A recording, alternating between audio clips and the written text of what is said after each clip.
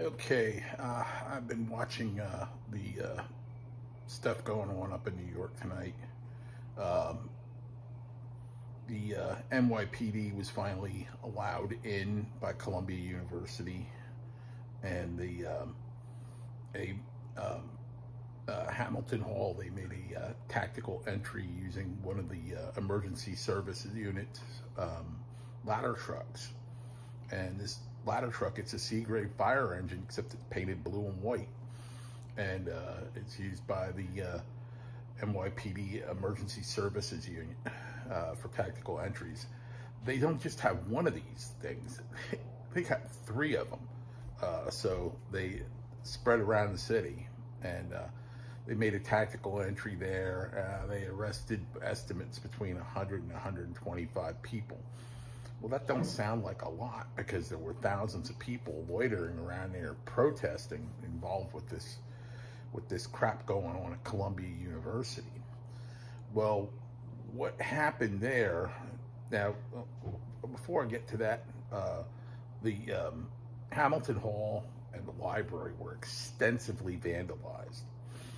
And uh, they're talking about only getting these people for trespassing charges and stuff like that.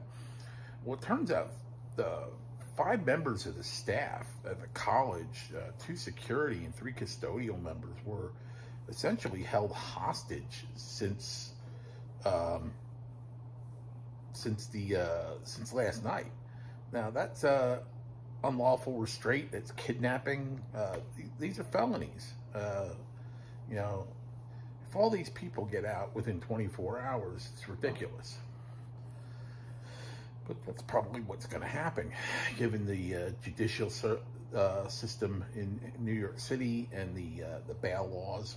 They're probably going to, you know, let them go.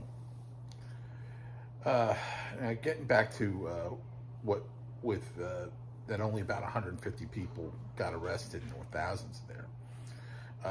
most of these people most of these these um, protesters, terrorists, whatever you want to call them, withdrew as soon as NYPD got in involved, and uh, they withdrew, but they went uptown to the Community College of New York, and uh, this is a this is a tactical action that dates back hundreds of years. It's called a rear guard action they sacrificed 150 people so their main body could then uh, relocate. And they relocated to the Community College of New York, where there already was a large presence of these demonstrators.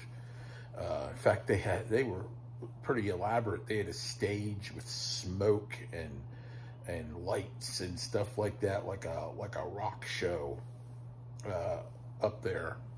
Uh, a lot of the people thought there was a fire up there, but it was it was smoke, a smoke machine, and and uh, lights and flares. The uh, but yeah, they they relocated, and this is an action that oh God, go back to the Revolutionary War where um, troops at Fort Mifflin were sacrificed so that uh, Washington could take his troops and withdraw to Valley Forge. Uh, it's known as the fort that saved America. Uh, that rearguard action saved the colonial army from destruction. Well, this is this is a similar this is a similar type of tactic that they're using. Uh, there were a lot of interfere um, outside interference going on. There was this woman that was in her 60s that's been involved with counter demonstrations for decades for demonstrations. And she's on video actually organizing uh, the barricading of the Hamilton building. And by doing so that adds an additional charge for her because what she did was called criminal facilitation uh, where she gave them direction on how to barricade the building properly. Uh, because these guys these people couldn't they couldn't find their genitals with both hands. They, they, these are these people are actually really stupid, and without this inside influence, that, that uh, they they they would not have uh, done as as well as they had. They, uh, I mean, the media interviewed these clowns, and most of them had no idea what they were talking about about what the, what an intifada was or, or what was going on over in in uh, Israel and Gaza. Uh, completely freaking clueless. And then of course their cosplay. They, they, they, dressed up like like Arabs and talked like Arabs, but they weren't Arabs. Uh, real, you know, if you have the courage to, to go by your conviction, you you wouldn't be wearing a mask. Uh, but yeah, my cat's running around. Has the zoomies. It's late at night. But um, yeah, they they had that woman, elderly woman. They arrested a woman in her well into her forties that uh, apparently was a member of faculty. Um, and uh, members of the faculty were involved in this whole thing as well. And if you think we're gonna we're done with this, uh, we're not because NYPD has to station hundreds of officers at at uh, uh, Columbia University until after graduation on the 17th. They're going to have to have a police presence on campus for that long until freaking cat. Uh, so he, they're, they're going to have to maintain a police presence on that campus. Uh, plus, they're going to have to maintain police presence at CCNY, uh, NYU, all over the city. Plus, deal with the uh, the uh, illegal alien situation there. Those cops got to be on their ass tired. Uh, that, that's just the only way I can explain it.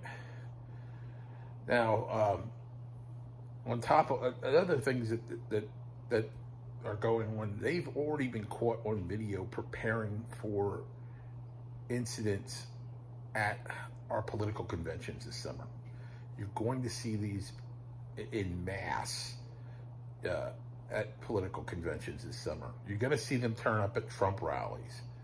Uh, that was a tactic that was used in 2016 uh, where they organized a riot, not a protest, a freaking riot in Chicago during a, a Trump rally uh, and made it look like uh, it was like it was all Barry Sanders supporters because they actually had Barry Sanders shirts pr printed up and handed them out to uh, people participating in the in the riot. Now, um, uh, and there was there was riots the day Trump got inaugurated. So, and then we dealt with a year of them in 2020. These are the same people putting on this, uh, you know, the same the same show uh, with uh, different rhetoric.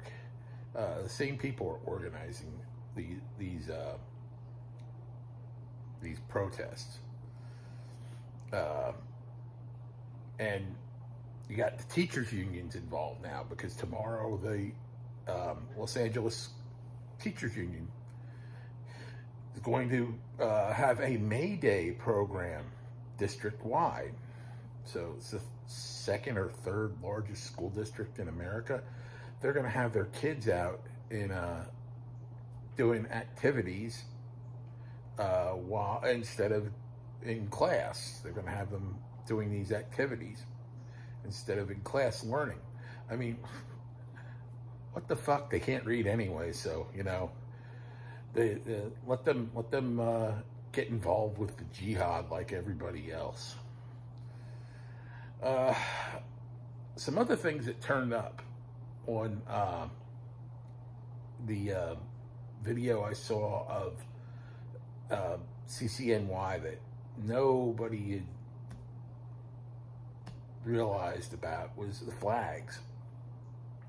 Because there was Hamas flags there was Hezbollah flags, and there was ISIS Caliphate flags all on display. And speaking of these flags, leave it to New York. There was a street vendor outside of Columbia selling Hamas flags. He was he was selling Hamas flags on a stick. You know, the, the you know I it pisses me off to see this, but it just it just shows you how New York is. That anybody can make a buck off of anything. So this guy's selling Hamas flags, a street vendor.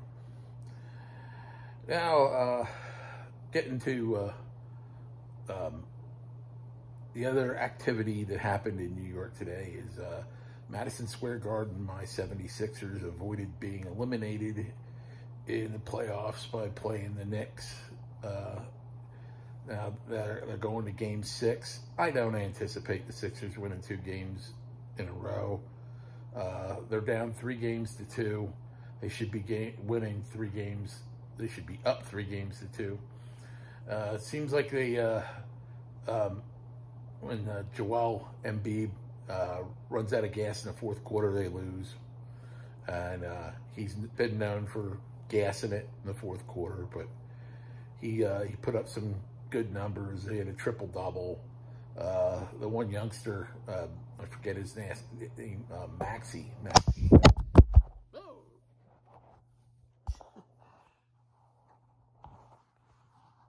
Guess that means I should shut up. uh, Maxey put up 41 points. So um, the Sixers avoided a elimination. And uh, like I said, I don't I don't anticipate them winning two two in a row and advancing. Uh, but it was nice that they uh, played well, and you know, I wonder how much police presence was at that game because the uh, cops were sure all over the place. Um, the, the, I'm just watching live footage now that there's a they're having an altercation with uh, some actual Arabs at City College in New York. Oh, and one last thing. NYPD um, intelligence people spotted two people in uh, in the periphery in the in the crowd outside of the uh, um, uh, the encampment in Columbia and identified them as the as two brothers of um, of a known ter terrorist who's on the terrorist watch list. And these brothers live in Bray, Bay Ridge in Brooklyn. Okay, now, don't you think that should have been something that was kept quiet? And uh, that maybe they should have been taken into custody and questioned? Uh, would have been the smart thing to do, but uh, some people um, like to flap their lips about what's going on, and that's good. I mean, I, I would have nothing to talk about if they did, but here that's that's something that uh, really uh, should have been kept out, kept quiet. All right, well, good night. Stay safe and God bless.